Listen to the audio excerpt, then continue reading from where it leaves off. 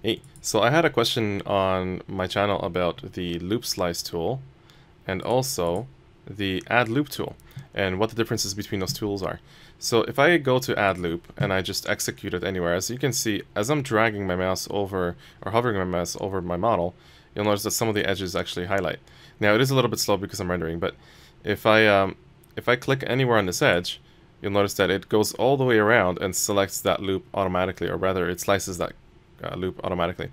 And it also gives you the distance from this point to this point and from here to here. So it slices this edge and then it gives you exactly um, the percentage, but it also gives you the full distance.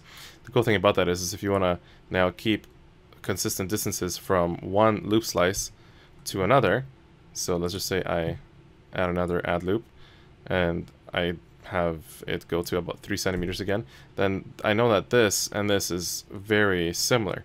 So as I have, as I'm working on a larger model and I want very consistent distances, then I could use that. Now the one limitation of this tool is that I can't actually define a path.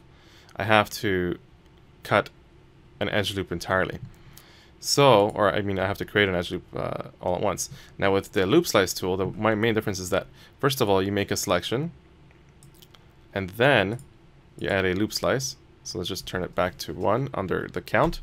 And as you can see, you have a loop slice. So it only really works on a full, uh, only on the selection. Now, the main difference between this tool and the other one is that I can actually break the direction and I can do something like this. So now if I go to loop slice, you'll get a result like this. And of course, if I left click now, I can slide the result after the fact. Now the cool, other cool thing is that if I go to count again, and if I add, let's just say 4, I now have 4 little widgets here that I can move around so I can slide my edges all independently. And that is something that you can't do with the other tool. And again, both these tools have preserved curvature, which is nice. You can actually turn it down to zero if you wanted to. The other cool thing is that you don't only have to make one loop, you can actually make several.